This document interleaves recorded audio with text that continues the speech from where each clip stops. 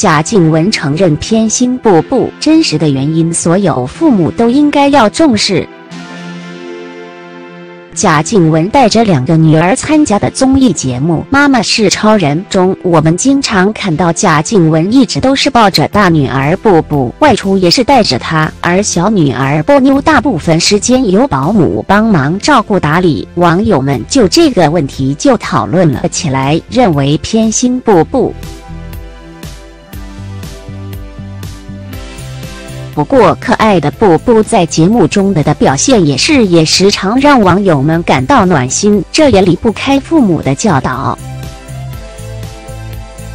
但是，很多网友表示，明显看得出来贾静雯更加宠爱布布，是不是因为布布酬劳比较高，才把更多的精力放在他身上，引大家的关注？因为节目中很多时候在家里的镜头，波妞基本上都是一个人坐着玩，有时候自己爬来爬去，拿着鞋子或者玩具都放嘴里，而布布很多时候都在贾静雯怀里或者就在贾静雯旁边。网友们看在眼里，喊话贾静雯不应该出现偏心的情况，对孩子应该要公平对待，不要忽略了波妞，她比较小，更需要细心照顾。就网友们讨论的这个问题，在节目中，贾静雯和修杰楷也聊起了这个话题。因为布布现在已经上幼儿园了，他们趁着波妞睡觉的讨论两个孩子教育问题。贾静雯觉得布布还小，没必要现在上学，但修杰楷说要更好的照顾波妞。贾静雯坦言，对波妞确实忽略了，因为她花了更多的时间探索布布的成长和变化，而错过了波妞很多成长的细节，亏欠了波妞。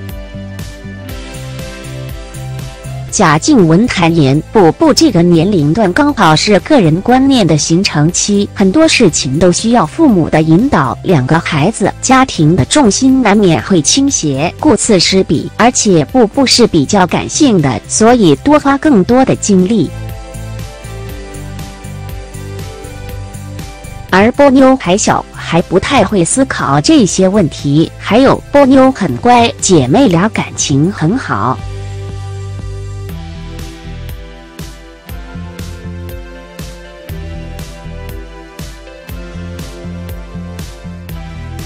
波妞在哭闹没人陪的时候，不不回到妹妹的身边陪妹妹，而贾静雯花更多精力照顾教育不不，让她更懂得把关心别人。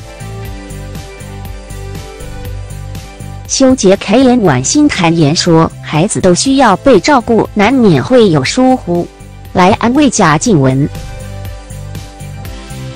看来在照顾孩子的问题，每个家庭都有自己的困惑和辛苦。